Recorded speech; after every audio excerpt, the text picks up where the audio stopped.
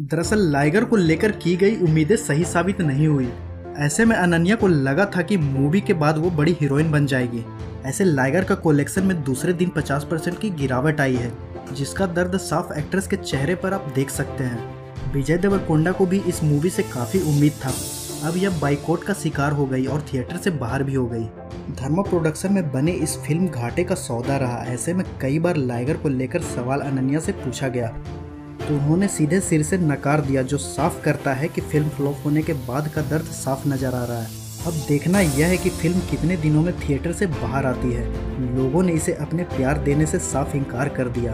करो। सबो ने तमिल में रिलीज़ हुई लाइगर के बारे में क्या कहा? A fan? अच्छा नहीं लगा पिक्चर। खत्म इधर ही। लास्ट कमज़ोरी कास्टिंग में थी पिक्चर अपने आप रुक जाएगा। कुछ नहीं है मूवी में। और विजय देवरकोंडा की बॉलीवुड में डेब्यू काफ़ी खराब रही।